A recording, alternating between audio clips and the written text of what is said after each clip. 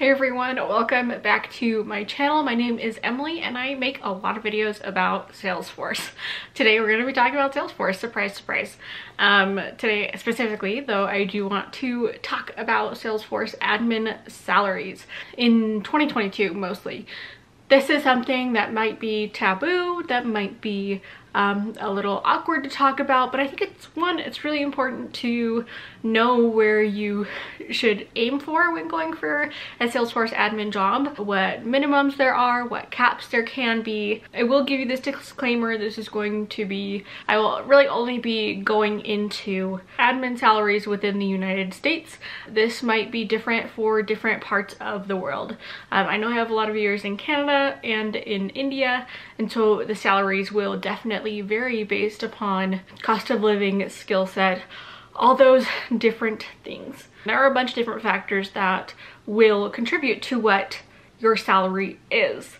The main ones are going to be experience, um, they are going to be certifications and also maybe some other degrees or other um, non-Salesforce certifications that you have that might be useful to the company that you're possibly working for. Um, let's go ahead and jump into the actual salaries. Okay, so the first website I'm going to be looking at is Salesforce Ben. He has a great blog that he and guest writers come on and then they do an annual salary review for many different countries and different places. I have some thoughts on these salaries. So he has two listed here for the United States. One is the entry level and another is a senior level admin. Um, the entry level is around $100,000 um, and the senior level is around $128,000.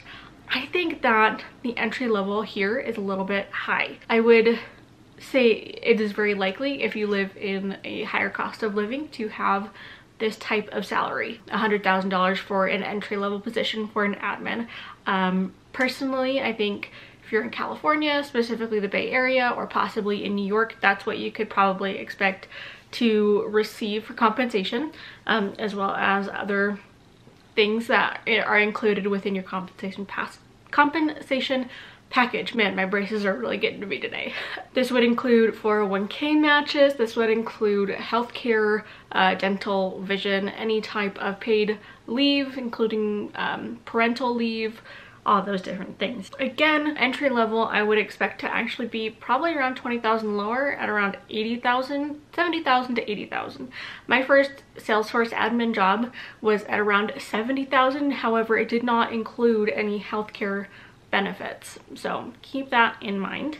I would expect an entry-level admin to have one, maybe two certifications if they were specifically studying for it and this was not an accidental admin position. If you are an accidental admin, you might likely see your salary be a little bit lower.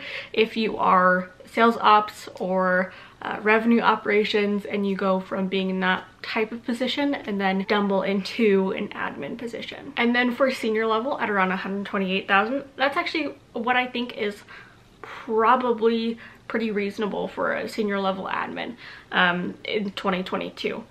Personally, I think there's only so much that you can do as an admin and you should always be working to get more certifications and eventually work your way up to be an architect if that's something that you want. You can expect a higher salary as an architect, possibly into 170-ish thousand is what I would expect for this year for a senior level architect.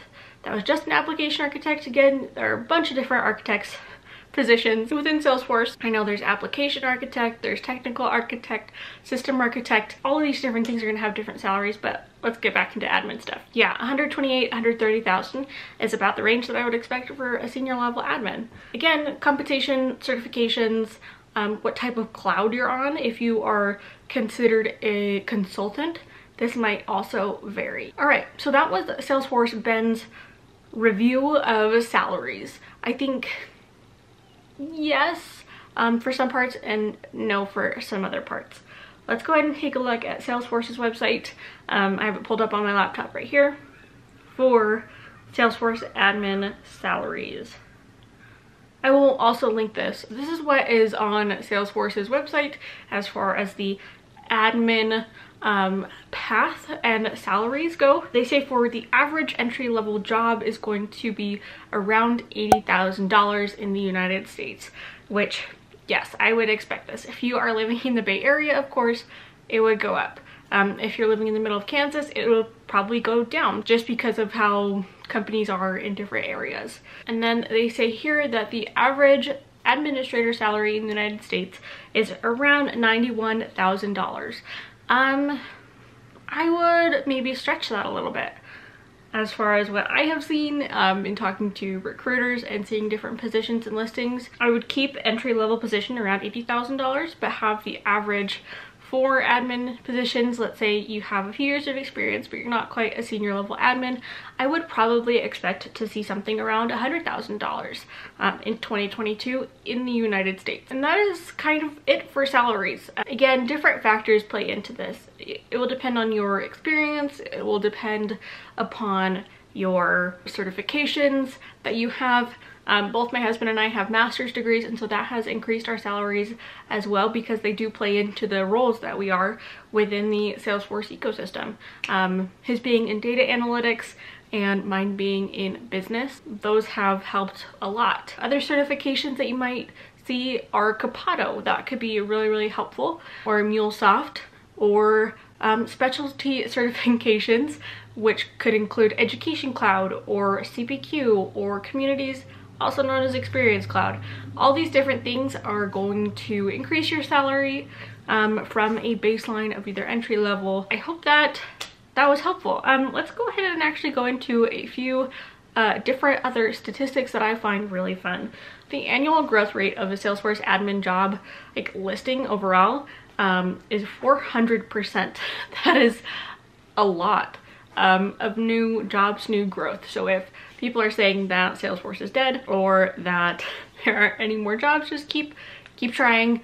Um, network, network, network, study, study, study, help connect with other people, um, and keep looking for a Salesforce job. By 2024, Salesforce projects that there will be 4.2 million new jobs on the Salesforce ecosystem um, across the globe. And also, according to Salesforce, Salesforce as a skill is one of the third most in-demand tech positions as of 2018, which was four years ago. If it was the third most in-demand thing, then um, I can only imagine it is at least the third most in-demand skill now. I hope that you found this helpful kind of a discussion on different things within Salesforce administrator salaries. If you have any questions, be sure to leave them down below and I'll be sure to get back to you as fast as possible.